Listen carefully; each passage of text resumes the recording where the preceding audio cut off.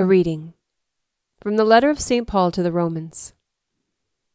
Brothers and sisters, I speak the truth in Christ. I do not lie. My conscience joins with the Holy Spirit in bearing me witness that I have great sorrow and constant anguish in my heart. For I could wish that I myself were accursed and cut off from Christ for the sake of my own people my kindred according to the flesh. They are children of Israel. Theirs the adoption, the glory, the covenants, the giving of the law, the worship, and the promises. Theirs the patriarchs, and from them, according to the flesh, is the Christ, who is over all.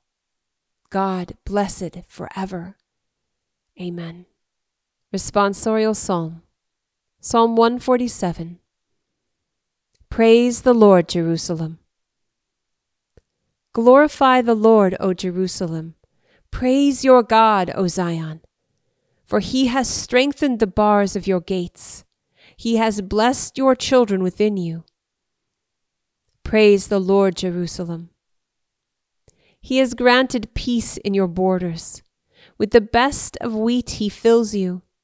He sends forth his command to the earth. Swiftly runs his word. Praise the Lord at Jerusalem. He has proclaimed his word to Jacob, his statutes and his ordinances to Israel. He has not done thus for any other nation. His ordinances he has not made known to them. Alleluia. Praise the Lord, Jerusalem. Alleluia, Alleluia.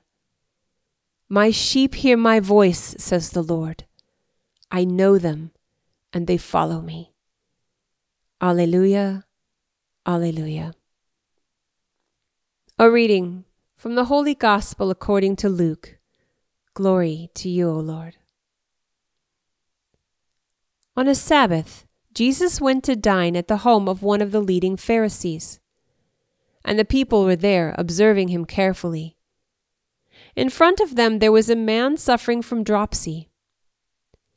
Jesus spoke to the scholars of the law and Pharisees in reply, asking, Is it lawful to cure on the Sabbath or not?